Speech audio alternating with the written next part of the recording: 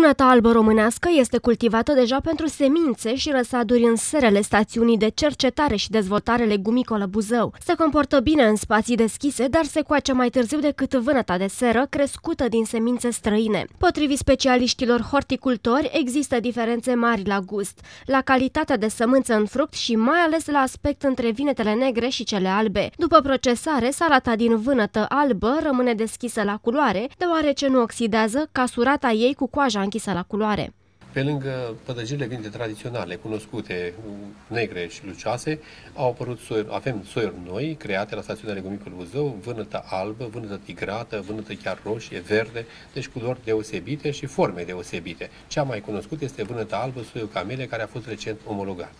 Mircea Tatu, legumicultor din comuna buzoiană Cochirleanca, a ieșit deja pe piață cu vinete albe produse în solarii.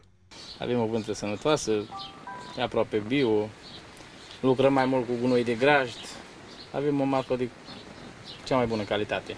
E adevărat că nu toate soiuri se aclimatizează foarte bine și au această caracteristică de gust și aromă. Uh, sunt multe soiuri care uh, se uh, remarcă prin productivitate, dar terenurile noastre și tehnologia aplicată dau un plus de valoare, deci aduc îmbunătățire acestor creații care sunt importate. În prezent, cele mai multe vinete albe din piețe, la prețul ce variază între 4 și 7 lei, sunt autohtone, dar și soiuri din import.